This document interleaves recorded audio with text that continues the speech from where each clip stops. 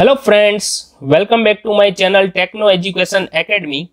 In this video lecture, we will discuss about working principle of supercritical boiler, its advantages and disadvantages.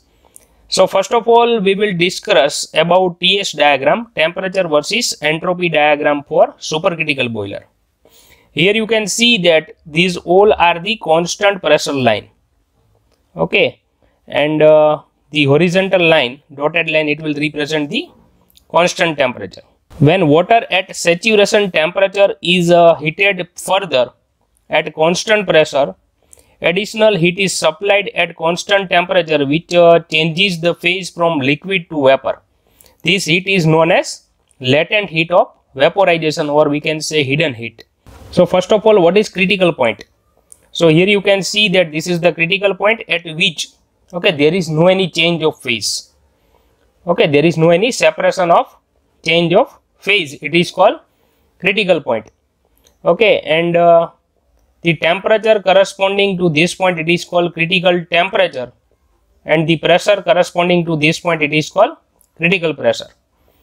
For steam critical pressure is uh, about uh, 221.1 bar and critical temperature is 374.15 degree celsius. Okay here you can see that this is also represented on ts diagram. The boiler in which steam is produced below 221 point bar are known as subcritical boiler and boiler in which steam is produced above 221 point bar are known as supercritical boiler so supercritical means above 221.1 bar and subcritical boiler means its pressure range is below 221.1 bar. Now we will discuss the working principle of supercritical boiler. So uh, through the feed pump, the pressure of water is increased above the critical pressure. Okay, on TS diagram here you can see that the process is represented by 3 to 4 double dash and it is then heated and temperature increased during the process. Okay here you can see that the here the heat is supplied at constant pressure so temperature is increased. Here you can see that this is the schematic diagram of supercritical boiler. These boilers are once through type and uh, we can say uh, steam drum is absent in this type of boiler. Okay here we are not using steam drum okay the total process of steam generation it will be take place in one long tube. It is called once through boiler. Feed water enters at economizer and leaves uh, as superheated steam at the other end. We know that what is the function of economizer. Economizer means it is nothing else it is a one type of heat exchanger. So before passing the exhaust gases to the chimney it will enter into the coil of the economizer and whatever the heat is available okay in the gases it is utilized to increase the temperature of water. So we can save the fuel or we can say uh, we can increase the efficiency of the boiler because uh, whenever we increase the temperature of water so this hot water is supplied to the boiler. So the uh, less amount of uh, heat energy is required to boil the water. The entire operation of feed water heating steam formation and superheating is carried out in a single continuous tube. So here you can see that it is a single continuous tube. So in this tube here you can see that the feed water it will uh, uh, supplied from the hot well or we can say outlet of the condenser through the feed pump to the economizer. In economizer okay uh, before passing the flue gases to the chimney okay it will uh, transfer the heat. Whatever the heat energy is available with the flue gases it is utilized to increase the temperature of water. And this hot water it will pass through the uh, radiant evaporator. Okay from the economizer it will pass through the coil of radiant evaporator in which water gets evaporated and it's partly converted into steam. The radiant evaporator uh, receives heat from the burning fuel through the radiation process okay then after it will pass through the coil of superheater. And here the uh, remaining moisture is removed from the steam and it is supplied to the turbine.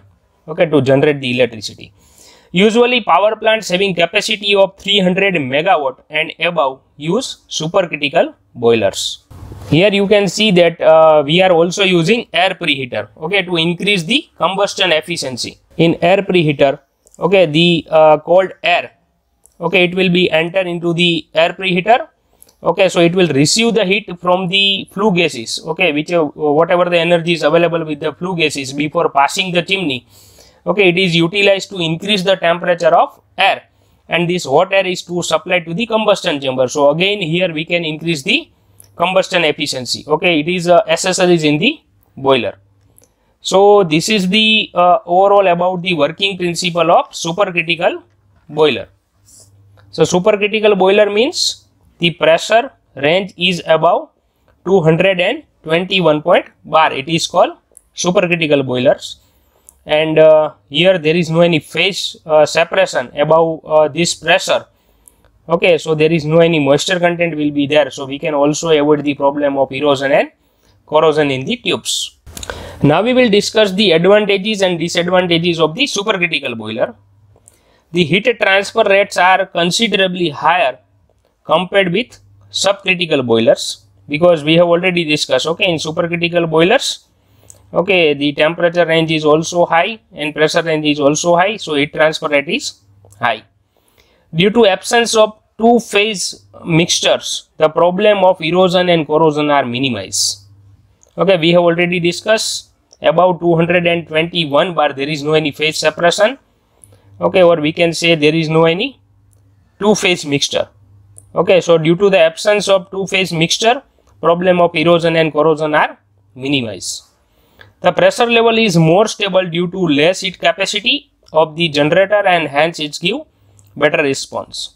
Higher thermal efficiency we can achieve up to 40 to 42 percentage of the thermal power station can be achieved by using supercritical steam the turbo generator connected to supercritical boilers can generate peak loads by changing the pressure of operation. It is uh, more adaptable to load fluctuation because of uh, easy operation, simplicity and better flexibility. Now we will discuss the disadvantages of the supercritical boiler.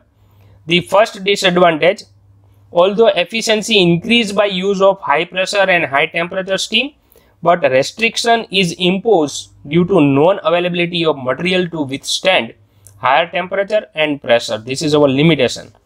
Also difficulty is experienced in turbine and condenser due to handling of large volume of steam.